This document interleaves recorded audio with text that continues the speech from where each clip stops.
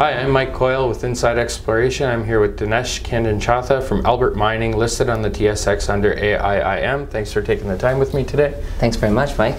So, what piqued your interest to join the company in the first place, Dinesh? I'm a technologist. I spent 20 years um, developing technology companies, investing in technology companies, uh, building teams to execute on technology opportunities. And uh, over the course of the last year, I've been thinking about other applications for artificial intelligence and machine learning, an area that you know I have a fair bit of experience in. In the early spring, um, some investors in Albert approached me and said, "Hey, you know, this is a really interesting company.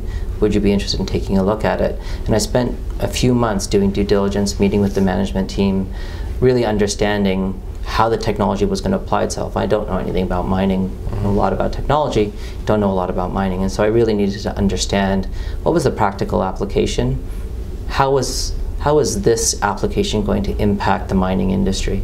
And the conclusion I came to was that this was highly disruptive, that AI and machine learning together as technologies can transform um, how mining is done, how exploration is done, particularly. There's applications also for the actual process of mining in terms of machines and, and, and operations, mm-hmm. but particularly around exploration.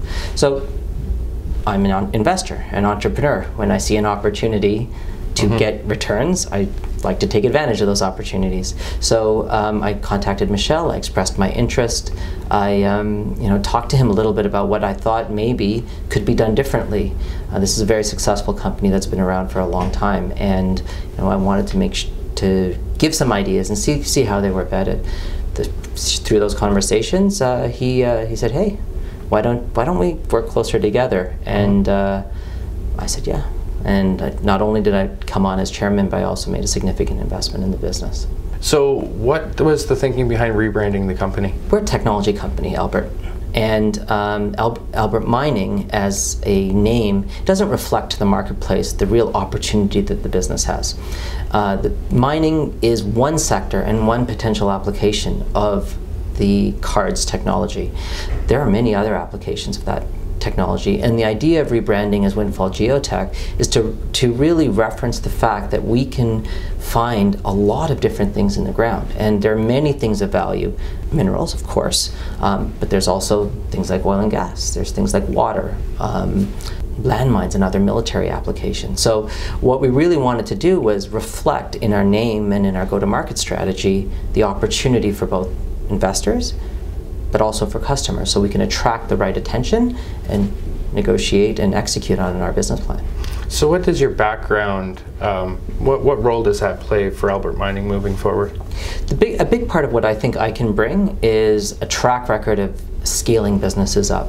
Um, over the course of my 20 year career, I've generated over a billion dollars in shareholder value.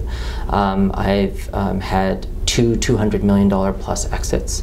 Um, I'm uh, you know, I, I know how this game is played. Mm -hmm. And most importantly, I've played it on the field um, for in multiple industries telecommunications healthcare software services so my hope is that you know commitment to execution along with the experience i have can augment the incredible um, experience Michel has around the mining sector. So what he brings is that in-depth knowledge that can only come from being a prospector and going up and walking the land and working with geologists and all that kind of stuff.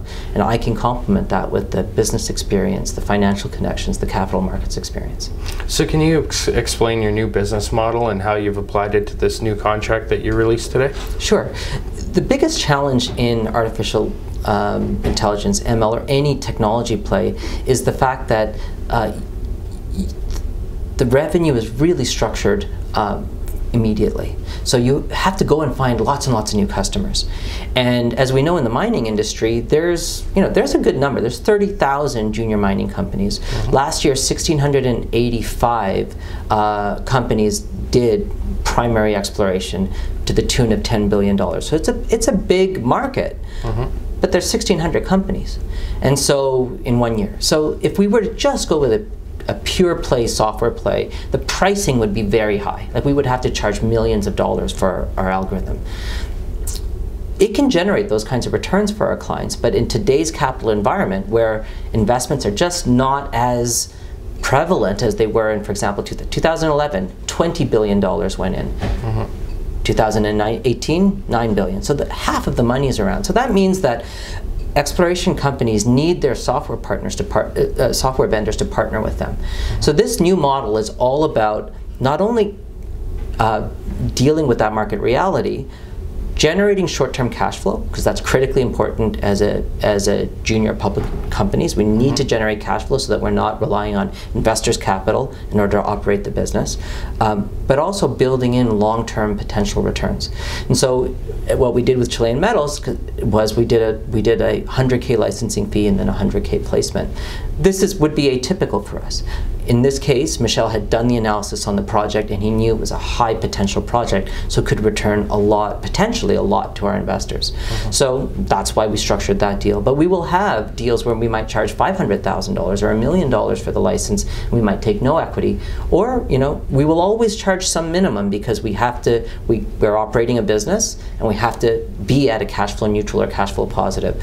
But our goal is to generate not only those short term returns that a, um, a security play can do, but also give our investors the potential to really large exponential uh, returns that only an exploration company can, can do. So you just touched base on that. You're an exploration company. Is there any plans for the future to acquire your own land and do your own exploration on these properties versus just working with other companies? This is one of the, this is when you have like a bit of a magic bullet, right? It would be crazy not to use it yourself. Mm-hmm. So if we can find the right projects at the right um, price points, of course, we will absolutely look at it.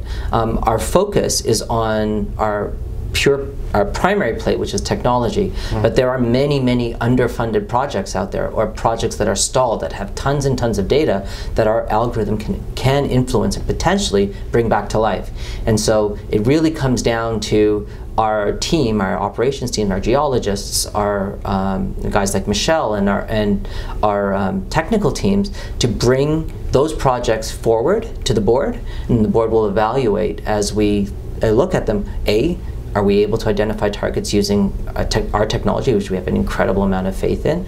Are the right project conditions there? You know, are the regulatory frameworks in place? Um, um, are there any potential friction into actual developing the, the project? So all of those things. Developing a mining project and developing a technology company are different things. Mm-hmm. So we need to be really clear on those projects that we invest in and to what level, when do we sell on the project, all of those kinds of things. But we're not closing the door.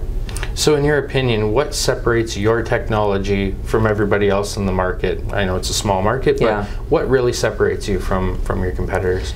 I did, as part of my due diligence, look at what was available and what was out there.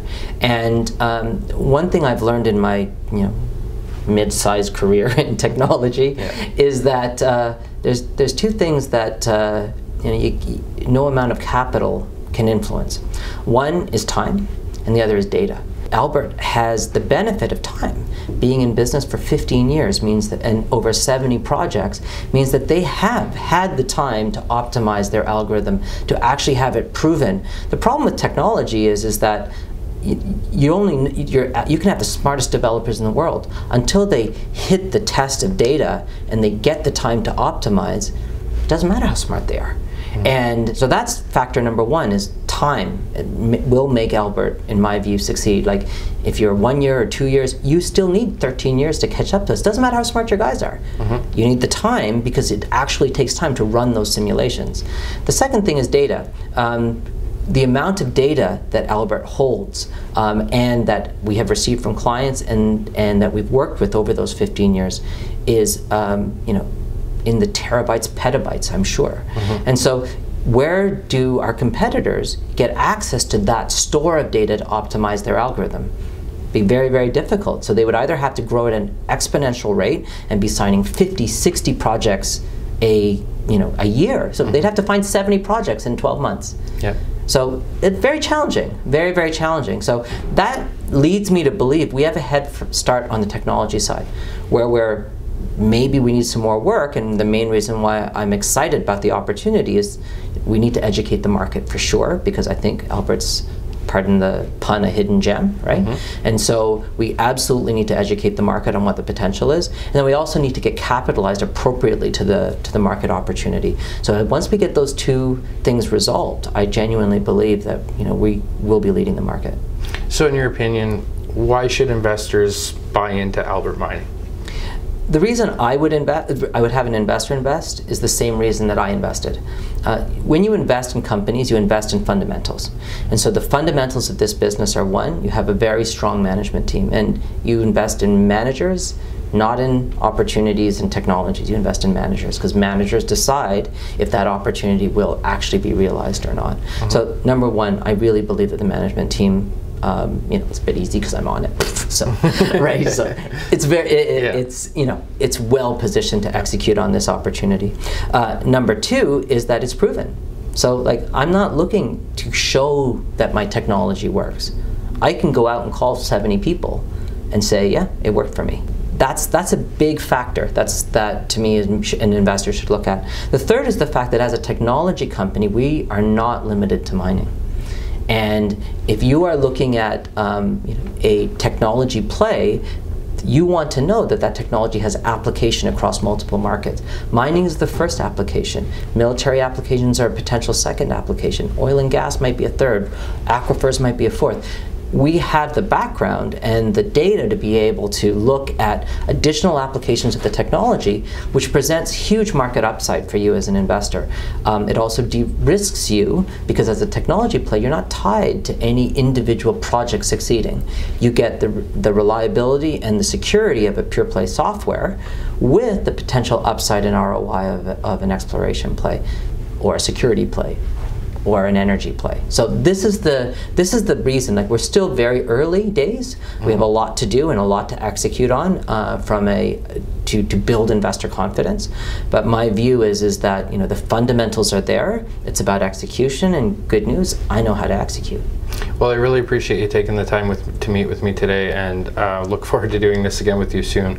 So, Thank you very much. I really appreciate your interest. thanks so much, Dinesh.